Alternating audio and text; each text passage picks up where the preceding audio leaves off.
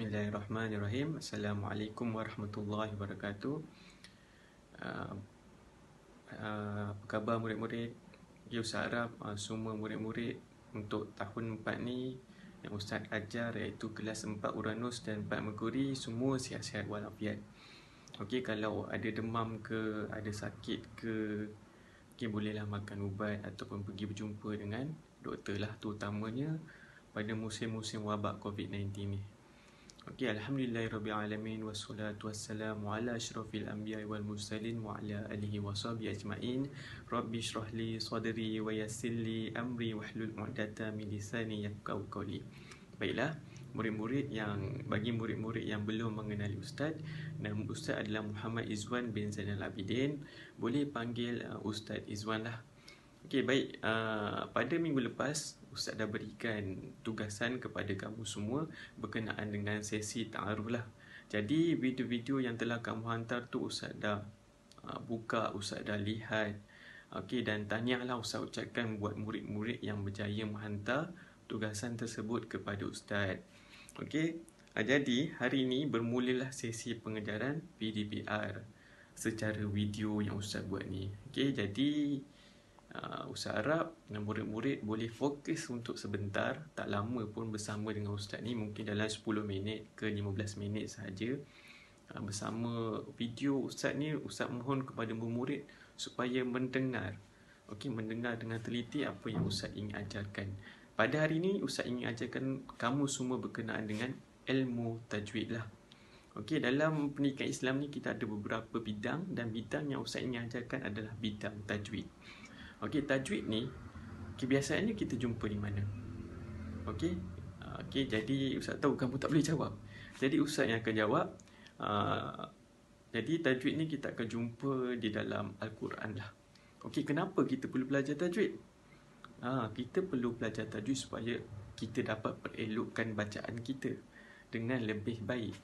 Okey, uh, kalau dalam bahasa Melayu dia ada uh, tata bahasa, dia ada macam-macam lah. Untuk kita elokkan kita punya pembacaan untuk elokkan kita punya penulisan. Okey uh, dan tajwid ni senang je. Setiap apa yang kita buat ni dia ada peraturan dia. Uh, macam ustaz. Ustaz bawa kereta ustaz jumpa traffic light. Bila ustaz jumpa traffic light merah untuk berhenti. Kuning untuk kita perlahankan kenderaan dan bersedia untuk berhenti. Hijau untuk kita berjalan. Kalau ustaz tak patuhi peraturan tu kemungkinan akan menyebabkan uh, macam-macam lah. Accident menyebabkan orang marah sebab dah hijau pun kita berhenti lagi. Uh, sama juga macam kita baca Al-Quran.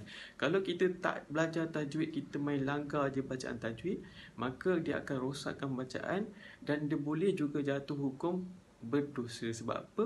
Uh, kadang-kadang kita uh, menukarkan makhraj huruf dan menyebabkan de, uh, apa menyebabkan merubah maksud uh, di dalam Al-Quran tersebut.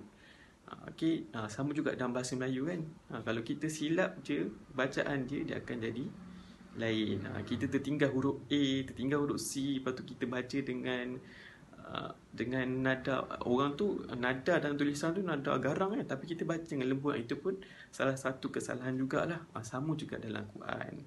Okay, jadi hari ni Ustaz nak ajarkan kamu hukum tajwid satu je sebenarnya. Okay, Ustaz tak ajar lama pun satu je idgham uh, idgham ifa maafkan ustaz ifa syafawi Ustaz, Ustaz akan ajarkan kamu berkenaan dengan hukum tajwid ifa syafawi. Okey, perhatikan betul-betul murid apa yang Ustaz sebutkan ni. Okey, kalau kamu nak dapat dengan betul, tolong perhati apa yang Ustaz sebutkan ni. Dia sebenarnya ifa syafawi ni kamu tak payah nak pening-pening. Sebab apa? Sebab huruf ifa syafawi ni dalam hukum tajwid ni hanya satu sahaja iaitu huruf ba. Okey, ustaz baca kantinya efak syafawi adalah apabila huruf mim mati bertemu dengan huruf mim mati bertemu dengan huruf selepas mim mati itu adalah huruf ba. Ba yang berbaris atas ke berbaris depan ke berbaris bawah ke tak kisah. Bila kamu jumpa macam tu di dalam Al-Quran, bermaksud dia hukum tajwid ni jadi efak syafawi. Okey, mim mati ni macam mana ustaz? Saya tak pernah tahu pun uh, ini kesalahan banyak murid sepanjang yang Ustaz ajar pada tahun lepas kebanyakan ni tak tahu pemimati itu macam mana Okay, mim mati ni kalau kamu buka Al-Quran yang ada di dalam rumah kamu, cuba tengok dalam Al-Quran dia tak ada bubu baris pun dekat mim mati tu. Kamu jumpa huruf mim kamu cari kan. Mim tu tak ada baris. Tak ada baris langsung, baris atas ke baris bawah ke baris depan bermaksud dia adalah mim mati. Kalau kamu cari yang ada baris tu tu bukan mim mati. Itu mim hidup. Mim, mim ma alif bawah ke mi ke depan ke mun ke min ke. Ha, itu semua min hidup mim mati ni memang tak ada baris. Kalau ada baris pun dia akan baris macam sukun. Sukun tu maksudnya dia macam bentuk C tapi terbalik. Ha, tu mim mati. Okey, ataupun bulat. Ha, tapi tu semua dah tak ada dah dalam resam Usmani sekarang ni semuanya mim mati tu tak ada baris. Kamu boleh cek nanti di dalam Al-Quran. Okey, sebab tu saya cakap mudah. Sebab apa? Sebab mim mati bertemu dengan huruf ba. Bagi murid-murid yang ada buku tulis uh, buku teks, boleh buka muka surat 30 tiga. Okey, kat situ ada contoh-contoh. Bagi murid yang tak ada buku tulis, tak apa. Jangan risau. Ustaz sediakan ha, di tepi Ustaz ni teks untuk kamu lebih faham. Sama saja dalam buku teks tu. Okey, baik. Ustaz bacakan satu contoh. Okey, contoh Ifat Syafawi yang pertama. Lasta alaihim bimusaitir. Okey, Ustaz ulang semula lasta alaihim bimusaitir ha, kalau kamu tengok dekat gambar okey ha, jadi contoh yang pertama adalah lasta alaihim bimusaitir okey bagi yang ada buku teks kamu boleh tengok dekat uh, muka surat 33 tu contoh yang pertama Efa Syafawi tu.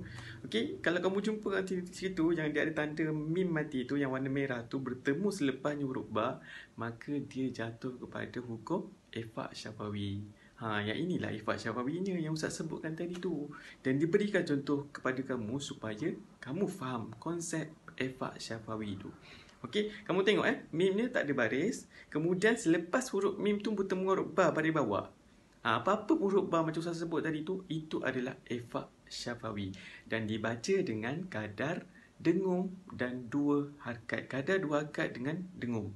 Okey, saya ulang dibaca dengan dengung dengan kadar dua harkat. Berapa harkat memurid? Dua harkat. Okey, bukan empat, bukan enam. Dia tak perlu panjang. Lasta alaihim bimusaitir. Okey, contoh yang kedua.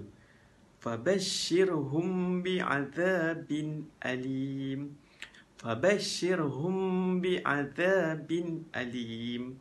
Sama juga, contoh kedua, mim mati tak ada baris. Kemudian bertemu dengan huruf bah, baris bawah mudah kan? Ha, mudah sebenarnya. Yang ketiga tengok. Wa ma sahibukum bimajnun. Sama juga mim mati bertemu dengan huruf ba.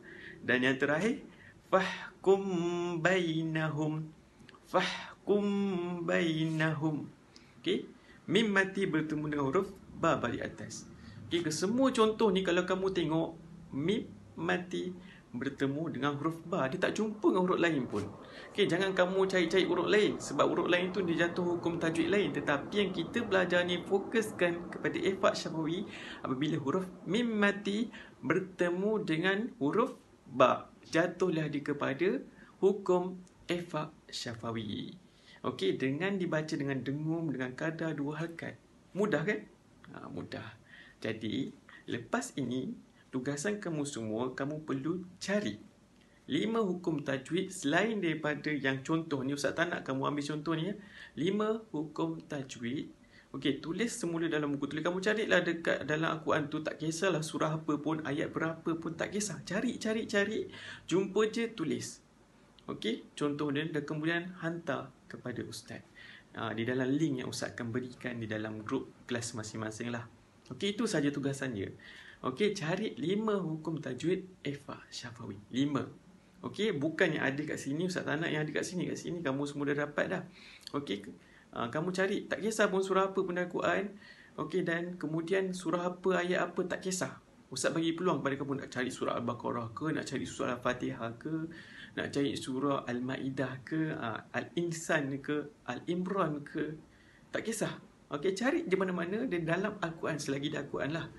Okey, cari dalam Al-Quran dan kemudian hantarkan tugasan kamu, ambil gambar lepas siap tu hantar kepada ustaz. Okay, itu saja pengajaran Ustaz untuk hari ini. Ustaz pun tak nak panjang-panjang. Ustaz harap kamu faham. Hari ini kita cuma belajar satu efak syafawi. Ustaz harap bila kamu dah belajar tu, dah dapat amalkan. Okey, ha, lepas ni kamu jumpa dakwat, oh ini Ustaz Izwan ajar ni, Mim mati bertemu ubah ni, hukumnya efak syafawi. Ha, itu bermakna kamu dah pandai. Okey, itu saja daripada Ustaz. Allah Alam. Okey, kita jumpa lagi pada minggu depan bersama dengan Ustaz Izwan. Assalamualaikum.